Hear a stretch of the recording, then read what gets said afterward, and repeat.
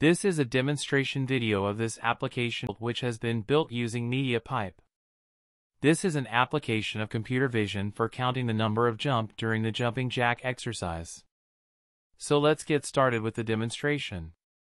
This is very simple code, very short one.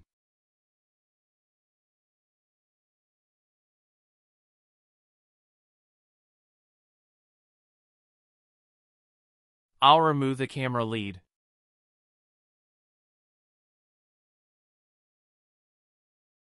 We are using pose module of MediaPipe to get the pose.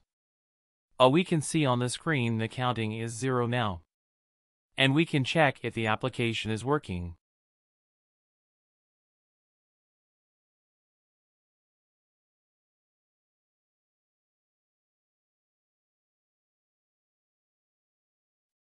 Okay, looks like working.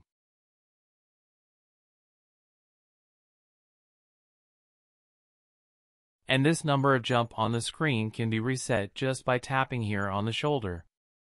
That is also working. The hand has to go full up and come down to add into the count.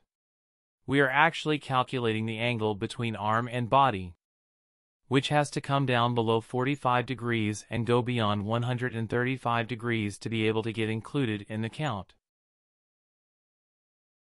Thanks for watching. Code is available on GitHub page.